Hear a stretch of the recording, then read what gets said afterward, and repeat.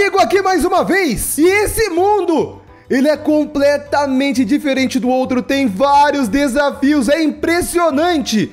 Será que esses desafios são do Stumble Guys? Eu vou descobrir isso depois, pois hoje eu vou entrar no Stumble Guys pela primeira vez. Mas é claro, depois de cumprir os desafios com o personagem principal desse jogo, que está aqui do meu lado.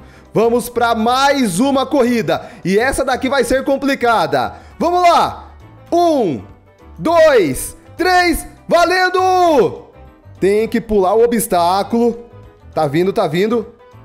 Vai ter que pular agora. Nem vou precisar, porque eu já passei mais rápido que o rápido normal. Agora, o bloco de slime tem que me jogar pra cima. Consegui, consegui! Temos um problema. Temos um grande problema, eu fiquei pra trás. Ai. Passa! Consegui! Agora eu ganhei super velocidade. Ele foi pro amarelo, eu vou pelo verde. Caminho verde. Aqui tem um carro!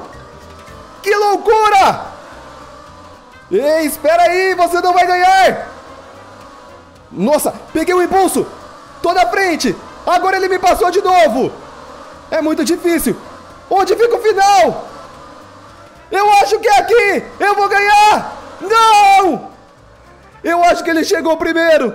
Ele foi o campeão!